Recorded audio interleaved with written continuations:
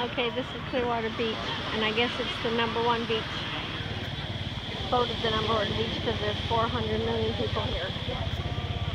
This way, this way, down there, millions of people.